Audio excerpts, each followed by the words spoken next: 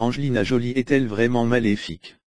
Tiraillée entre le conte de fées et le conte des fées, la fantaisie et la noirceur, voilà une œuvre schizophrénique, du sur-mesure pour Angelina Jolie, célébrité bipolaire, mi-madone mi-femme fatale actuellement en plein divorce, en pleine tourmente.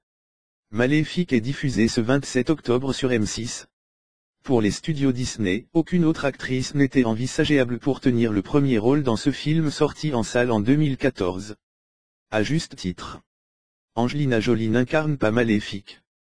Belle à ce damnée et envoûtante, malgré des cornes, des oreilles pointues et des lentilles mordorées qu'on finit vite par oublier, elle est maléfique, créature précédée, comme elle, d'une réputation sulfureuse émue, comme elle, par l'instinct maternel et la rédemption.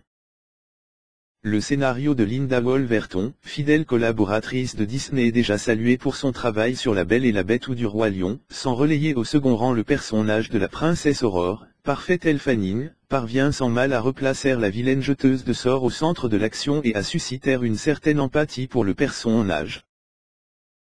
Car le propos du film n'est pas de raconter la délivrance de la belle au bois dormant par un gentil prince charmant, dans cette version, ce n'est d'ailleurs pas lui qui réveille la belle aurore de sa torpeur, mais d'expliquer les raisons qui ont poussé Maléfique à condamner, lors de son baptême, une innocente au sommeil éternel le jour de son 16e anniversaire, puis de montrer les remords qui la tenaillent à l'approche de la réalisation de sa malédiction